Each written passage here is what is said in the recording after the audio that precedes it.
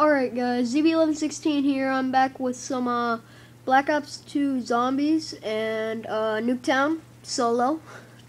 And uh, here we go. I'm on round 11. Started filming. Sorry about that, but uh, just did. And uh, I don't know what's going on with my camera, but uh, I'll play it off. Hold up. There we go. That's better. Ain't that better? That is very, very much better.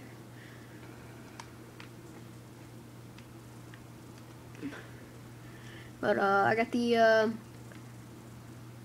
F cert and the uh, whoa, back up, Mystifier. And the uh, I'm out of here.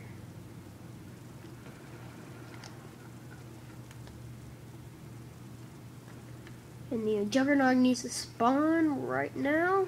I'm not joking. So I went with a different strategy than I usually do, which is like get Jug first and then play it from there. And uh, well, I just kind of pack punched both weapons first, then got speed, cola.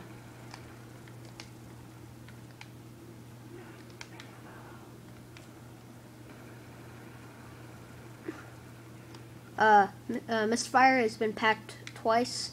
It's been packed once. That's fast enough for me.